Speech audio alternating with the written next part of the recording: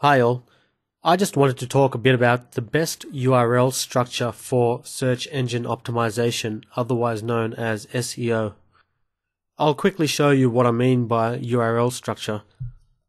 So if I go to our website emediacoach.com and go to one of the tutorial pages, you'll see that the URL structure is our website.com forward slash tutorials forward slash the name of the tutorial.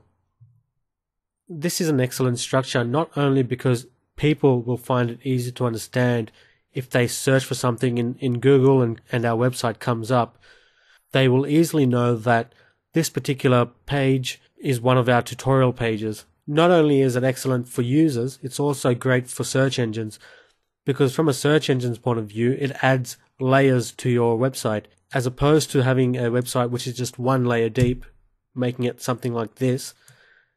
Having a proper URL structure makes it more than one level deep and adds more depth to your website.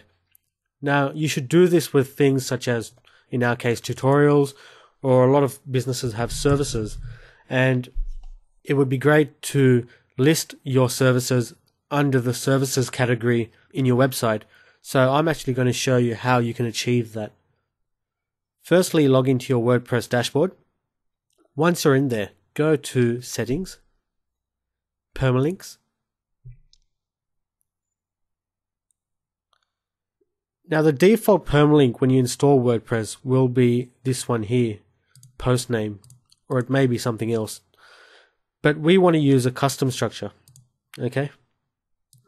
delete whatever's in there and enter this here.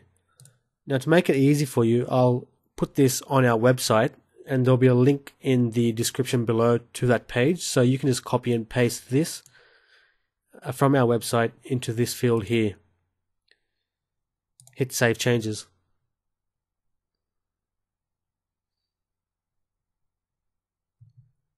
Now the next thing to do is add categories. To do that, go up into Posts, Categories. In this website, there's already a Services and Tutorials category. So, as an example, I'll use something else, say Products.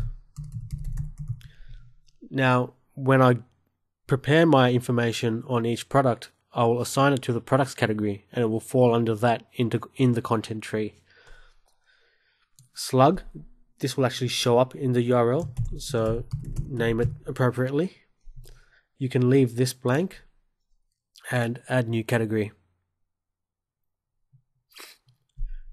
One thing to note is in WordPress, only when you add a new post will you be able to assign a category to it, whereas pages won't and are structured simply as forward slash contact us or whatever else. You cannot assign a category for pages.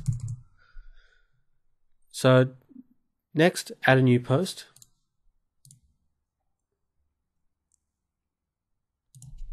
And as an example,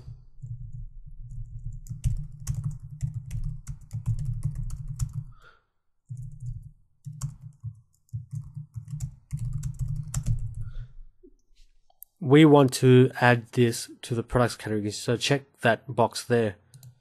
If you don't do this, and leave it blank and hit publish, what will happen is that it will be added to an uncategorized category and will be displayed as such in the URL, like you see there.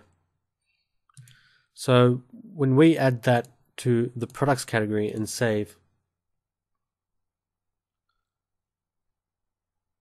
you'll see that that URL string refreshes and this particular product appears under the products section of our information of the information architecture of your website. Now you could do this for every single one of your products. Similarly, how we've done with every single one of our tutorials. Like you see there. And like I said, that adds depth to your site and is not, not only useful for real human users, but also adds value to search engines. I hope that's been useful. If you have any questions, please ask in the comments below and we will definitely answer. Also, like and subscribe to our channel. Thanks for watching.